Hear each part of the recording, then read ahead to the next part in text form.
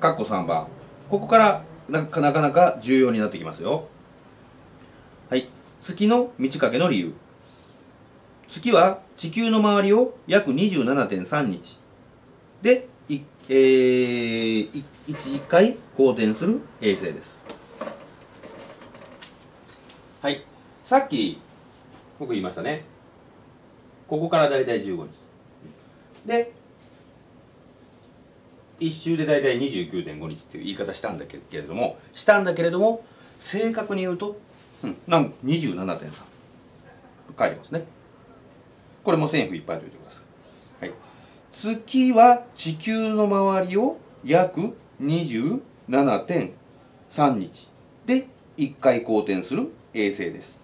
って書いてますね、先に言っとこうかな、うん、えー、このねえページの上の一番上の括弧1ですね。満ち欠けの順序のところで書いて2行目に書いてました。もう一回読みましょう。1番満ち欠けの順序の2行目。新月から次の新月までに約29.5日かかる。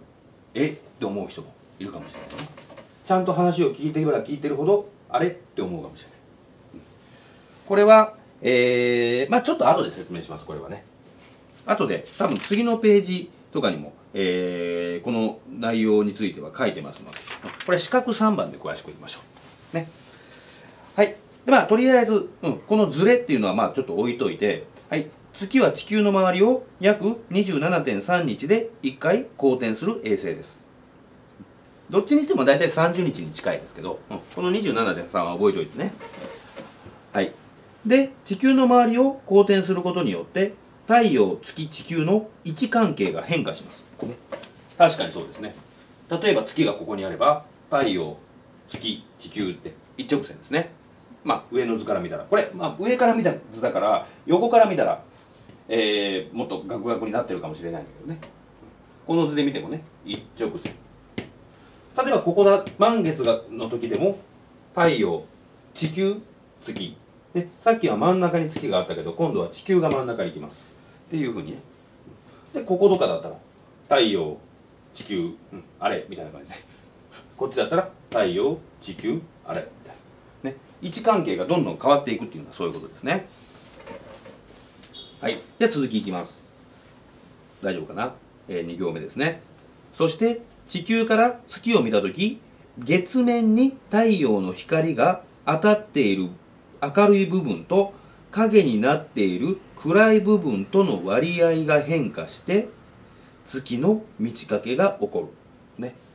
えー、この3行目から4行目は非常に重要なところなのでもうちょっとねもう一度読み返して線を引っ張っておいてください、はい、月面に太陽の光が当たっている明るい部分と影になっている暗い部分との割合が変化します。いうことですね変化してえー、月の満ち欠けが起こる。はい。はい。ここが線を引っ張れば、あの、下のことは、まあ、下の文章をまた見といてください。えっ、ー、と、今僕がさっき説明したこのね、新月とか満月のことが書いてます。はい。で、えー、ここから非常に重要なところで、えー、はい。ね。どういう満ち欠けをするのかっていうのが、実はこの図でわかるんですね。よし。一回消します、こっちは残しますね。はい。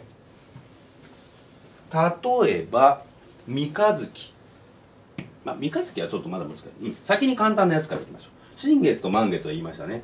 地球から見た形が大事なんです。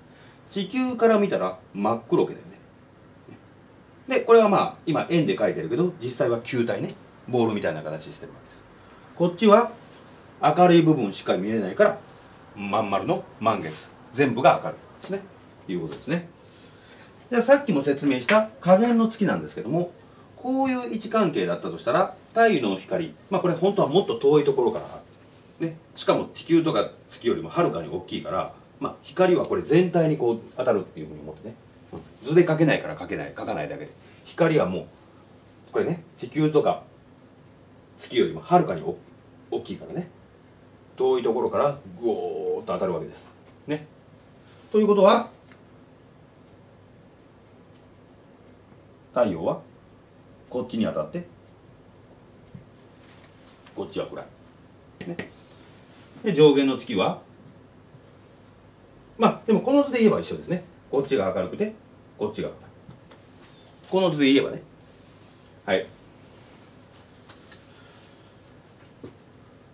でなんで下限の月と上限の月が左右入れ替わるのか明るい部分と影になってる部分ね、うん、なんだけどもこれは地球から見た見え方がが結局問題になってるわけですから、はい、地球から見るというのはこういうことですね。こういうことです。こういうことですね。しこういうふうに見たら左側が明るい。さっき言いましたね。左側が明るいのは下限の月。だからまあこれ沈む時確かにこの弦の部分が下に来てますね。はい。だから、えー、これはこのまんまでいいんだけど上限の月を地球から見ようと思ったらこういう状態ですね人は。こういう状態ですよね人は。わかる？